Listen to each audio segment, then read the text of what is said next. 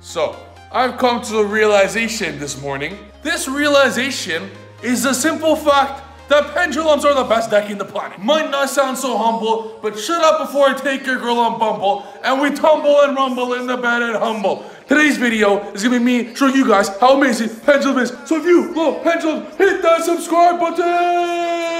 Hit that subscribe button if you're new to the channel. Hit that like button. Comment what you want to see below. Let's go straight into the video. Friendly reminder, I know I haven't been posting a lot lately, but every single day until I get unbanned, I will be posting Pendulum Domination! So check back at my channel every single day not to miss out on Pendulum destroying the meta. So enjoy this video, especially stay tuned until the end. Stay tuned until the end. The video is a little bit slow to start, but at the very end, I, oh my god, I OTK through four or five interruptions, three, four games in a row. It's absolutely mind-boggling.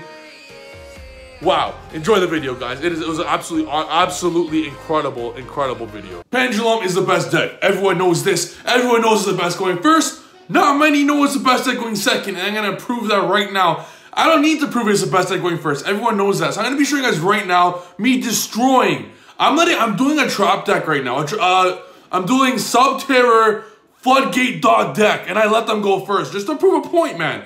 Just to prove a point. Like I look, want to dial me, bro. You go first. You go first. Go ahead. Go ahead. Give this guy a chance. We're gonna be doing. Uh, we're gonna be doing. Let's show both over here. Show both hands. You won't be able to see most of it because see some of it here. What he has.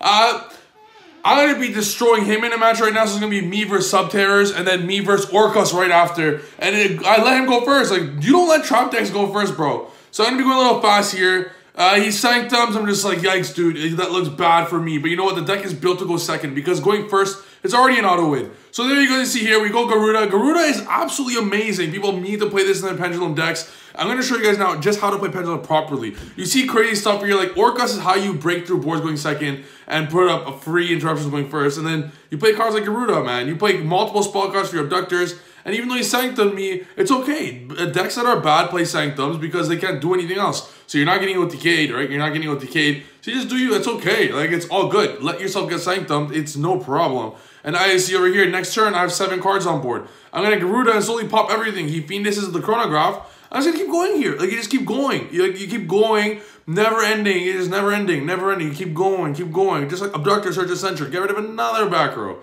Now look at that. Just like that, we got one. We got just uh, the that lap right there, the super poly, and then you see it just it's broken. This deck's just broken. You keep going, and then boom, super poly. We get cucked there. Uh, but we keep going. Look at this. Even though we had super, look how many interruptions we're dealing with. Look at all those interruptions we're dealing with, bro. All those interruptions we're dealing with, and they still uh, can't deal with us. We're still too good. We're still too nice. We're gonna pen call, get rid of everything, and bro, it's just too damn good. As we see here, our plan is we want a Utopia double. You must play Utopia double and Pendulum. I don't care. This is not an option. We Yazi get El Mirror Mirror is then going to turn into a Borrelsword plus a level 4 required to go into Utopia Double. So just like that, we're going to put up, look at that, look at that. Infinity damage. And then you can Orcus uh, combo right after with Harp Horror. Like, that shit's absolutely nuts, bro. What the hell? Absolutely insane. Utopia Double is going to end up with a 10k attack, hitting over the Scythe for 7800, and then Borrelsword attacking the other for the next 200. Like, we dueled what? Uh, Sanctum and Permanence to Super Poly. Yeah, it's like in everything, bro. The Guru uh, interruptions. look, this hand's not even that good that we have. Every hand looks like this or a lot worse. You know what I mean? Like, the, every hand looks like this that we have. It's not even that good of a hand. We're going to be de dealing with all the interruptions. Look at this. We went through these three crazy interruptions, and we still got Exodia. We still got Exodia. We went through all three interruptions, and we still got Exodia.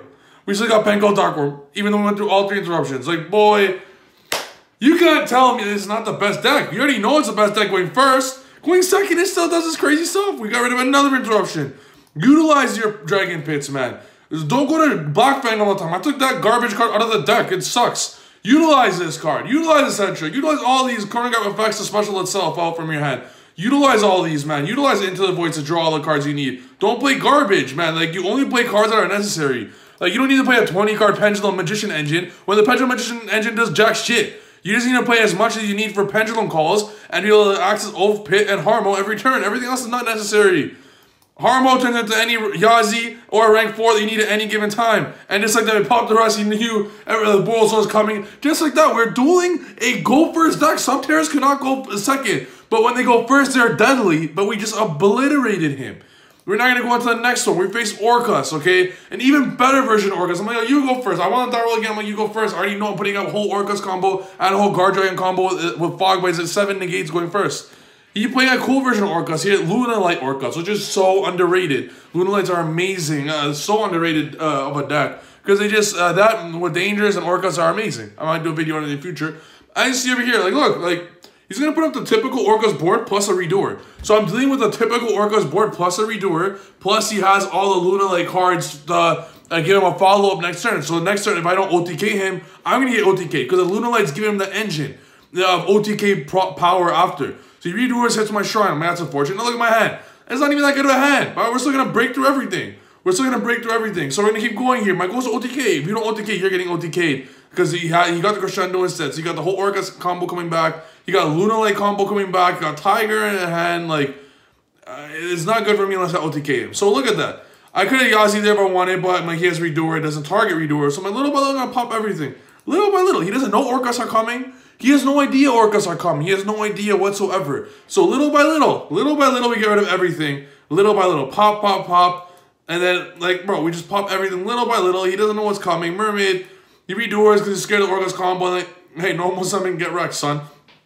Can't do anything about it, man. He can't do anything about it. The deck is too powerful. Look at that. Orc Servitor. I, I went to, uh, I don't do that. I go Dingirsu first. I summon Dingzo first before I draw. I told him before, I'm like, yeah, my bad. Uh, we're, we're, testing. So before I went Galate, I went Dingzo first. So Dingzo popped those two with Rusty. And then you draw two. So since you draw two, you're going to get the counter on Abductor for the draw. And you're going to keep playing. You didn't even Pendulum Summon yet. So the Orchestrate Orcust combo ends up popping two cards your opponent controls getting all the cards you need from Rusty, which got negated by impermanence. So you get you, all the the Brigadine, the uh, whatever you need. You draw two, and then you Pendulum Summon. Like, it's absolutely nuts. Like, look at this. And now we ended up getting the Canis Abductor. I miscalculated. Triff Math was not here. I thought this was 8,000 damage exactly. But I'm an idiot. It was 7,900. And I didn't want to take it back. I just took the other one back. We were like testing anyways, right? So this would have been uh, 8,000 if I attack with Borrelswords. What I should have done is attack with Borrelsword and it was game. It was 7,900. I couldn't do math and I lost. I just scooped. Uh, I couldn't believe. I, I couldn't calculate. I couldn't count uh, up to 8,000. I guess Triff can only count to seven, uh, seven negates. So I'm like, all right, let's go next game. I, I, gave, I gave that one to him, bro. I gave, I literally just gave, handed it to him on a silver platter. I'm like, yo, I couldn't count, so let's go game two. We're going game two, uh, same board. I'm gonna do the exact same board, if not even a, a crazier board. Like, but I'm like, who cares? Uh, I'm gonna OTK you through anything. This is a better hand, but every hand looks like this. We drew Time Gazer. I don't care if we drew Time Gazer. Doesn't matter what bricks you draw. There's no bricks in this deck. They're all useful for something. You can even draw Fog Blade, it'll be useful. You could draw anything, it'll be useful. Like, people don't understand how broken this deck is, the way it's built. I'll show you guys a deck list in the future, but oh my god, man, look at this. Like, we already got the counters of Abductor. You play nine ways into Abductor or Servant, right? What we're gonna do, we're gonna, you know what? He has, uh, he doesn't have anything to negate the effect of Endymion, so we're gonna force him to use Crescendo on the Endymion and Scale uh, on the activation of the card. He, I let him take that back because he thought he could use it on the effect. So let him take that back to use the Crescendo on the uh, activation of uh, Endymion, not the, the, of the card, not the effect. Abductor Search Eccentric, pop another backer, just like for free. You gotta play cards like Eccentric, you gotta play cards like Garuda. It's absolutely insane. We got rid of all those interruptions. Now we're gonna go Electrum. He has to uh, stop it. Now, like, we have one uh, interruption left. We're to get rid of that interruption with Phoenix. Now look at that. Now there's nothing he could do. We're gonna go into Mermaid to clear up the extra deck slot. You told me a double game. Everything in this everything in this meta has less than 2,000 attack. Orcust have less than 2,000. Galatea on board. Salamangreat have 1,800 guy, guys. Sunlight Wolf on board. Uh, all Sky cards are under 2,000. It's so damn easy to OTK through this garbage meta, man. It's absolutely it's so easy. Like through four interruptions, we OTK'd the, the guy. Like four.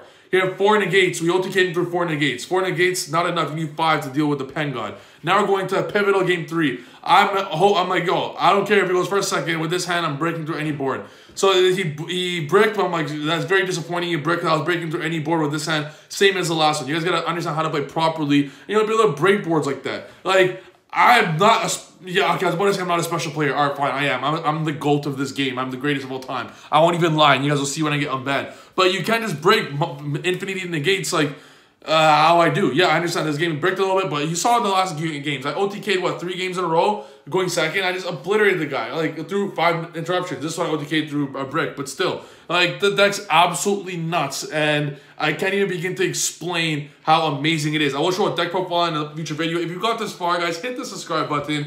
Uh, I'm gonna be posting every single day pendulum content to show you guys just how broken it is. I have some spice. I, I firmly believe I cracked the code. Finally, I cracked the code. This format is absolutely nuts. So just in time when I get unbanned, guys. I hope you enjoyed the video. Hit the subscribe button, like the video if you like what you see. We'll see you guys tomorrow's video. Peace.